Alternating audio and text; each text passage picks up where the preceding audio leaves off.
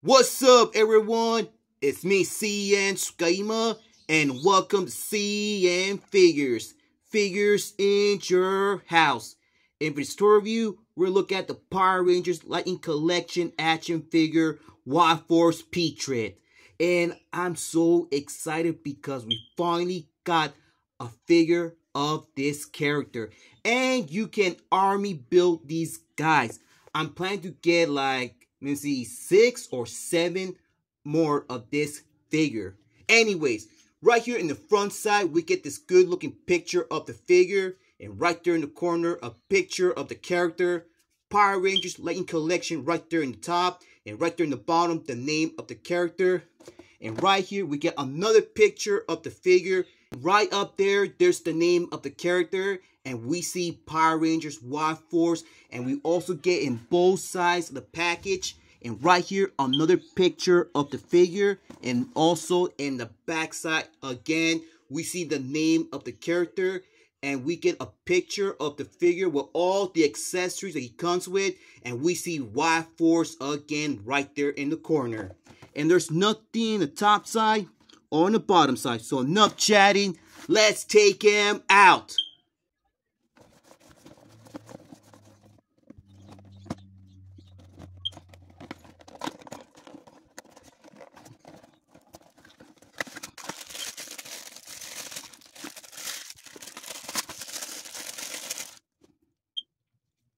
And here's the figure out of his box. And he looks very cool. And I believe this is a new body mold. Is that I never seen this mold before. Look at the design. The paint apps are very amazing. I believe that Hasbro just blow my mind because this figure came out very cool. Alright, I'm gonna start out with the weapon he comes with. And this piece is freaking awesome. Look at the great work on the spikes. And they're not pointy at all, but they are kind of hard, but they look good. Look at the nice detail, the paints. Man, this is amazing right here in the top. And right here in the tip is very smooth. And the spikes and also on the, well, the parts here in the middle, they're all sculpted. And we get some nice detail right there in the middle. And same thing around here. You can see a little curls around. Line here. And, well, this part looks kind of funny. But at least they added a little spike right there in the bottom. And it's not pointy. And it's also kind of bendable. Just a little bit.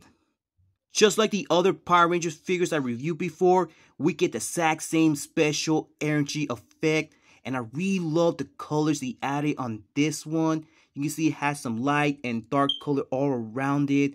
And it's also bendable all around this effect. I really love these effects a lot. Look at the detail it has all around it. For this figure, we get four different hands. And I believe they reuse the exact same model. And we get open hand, holding, flat, and fist. But the fifth hand has a little bit detail right there in the middle. But I will show you that later. And you can see the detail, the exact same one it has the other figures I review. And I really love how they came out. And especially the paint that each one has all around it. And here's the figure again. And the head sculpt is so cool. And I believe they reused the model to make this figure because in both sides right there it almost looked like a Power Rangers SPD head sculpt.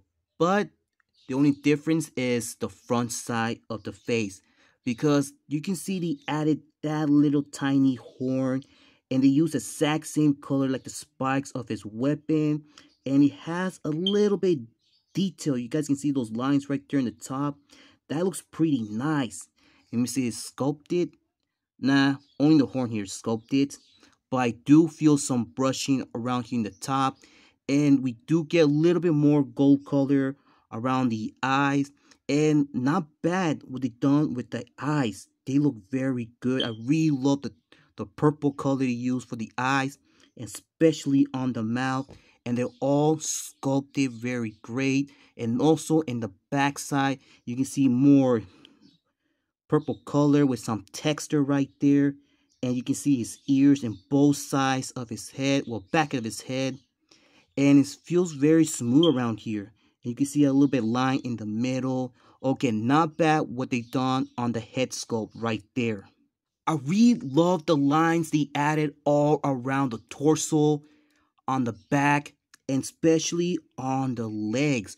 Well, there's not a lot to talk about the body, but you can see some wrinkles right there on the arms in each one. And I do like the color used for the lines. And we do get a little bit more right there in the back side of the belt. And you can see some detail, like some wrinkles right there on the belt. And you can see a line right there. And I can feel some brushing here in the back, but not here. But I can feel his muscles. That's pretty much it right there. And we get the exact same color right there on his belt in the middle. And i do love the design they done around here. It's all sculpted. Love the silver color.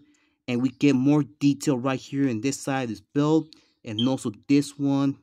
And not bad what they done with the belt. It looks pretty cool and also love the black color it has all around well in the legs well there's not a lot to talk about it does has a little bit of wrinkles right there. But you can see they added this detail on the ankles. And we get more gold color all around. And so sculpted. And same thing here on the wrist and each one. Okay, the detail I'm going to show you the fist hand has. Well, the fist hand has. It's right there. I'm not sure you guys can see it. Right there. You see the detail? Like they added a little bit wrinkle right there and the knuckles are sculpted in both hands right there. Like I said, they done a pretty good job with the hands, the sculpting, the texture, because they do has a little bit texture, like the open hand right here. Let me show you guys. Like you can see a little bit texture right there. And you can see the sculpting from the flat hand with the thumb. Like I said, they done a pretty good job with the hands in each one. And you can see right there in the top of his legs, we get this detail, like these wrinkles around there. And there's really nothing around his waist here. And But we do get more wrinkles here on the biceps. Let me see in the backside. Yep. Also in the backside.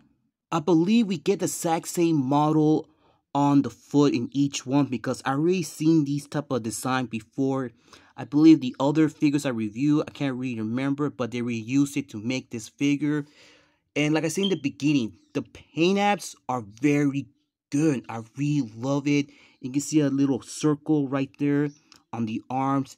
And all that is amazing. Alright, now let's get on with his articulation.